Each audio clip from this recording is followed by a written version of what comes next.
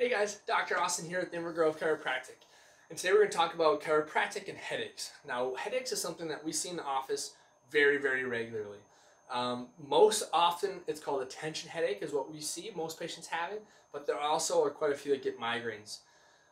More often than not, though, it's the tension headache, and that stems from a couple of different reasons. One's if we're very high stress, two, if we're not drinking water, three, if we're having bad posture, and more often than not, it's the, the latter, the bad posture.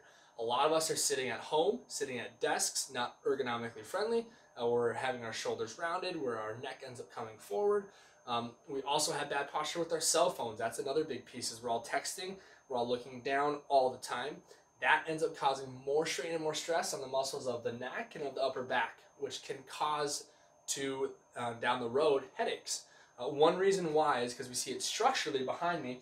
We have a nice curve in our neck there, which is perfectly normal. That's what we want. But then as time goes on with our bad posture, we end up losing some of that curve. It puts more strain and stress on the muscles of the neck and the upper back, more tension into kind of the base of the skull, and that's when headaches start to slowly migrate up towards the head, causing the headache.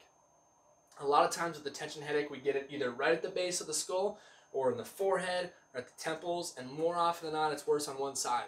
That's kind of what we're looking for. And with the adjustment, which what we're doing at the chiropractic visit, is we're finding those spots where the joints feel like it, um, or the bones feel like they're not quite in the right place, and we're putting motion back into into those joints to hopefully help those muscles relax, get some of that stress and inflammation out of those joints and out of the neck and out of the upper back. Over time, that's what ends up getting rid of, or at least limiting the severity and the frequency of those headaches, because headaches can become can get worse and worse if we don't fix those issues. So that's why also fixing the posture getting ergonomic desks, those are all very important pieces.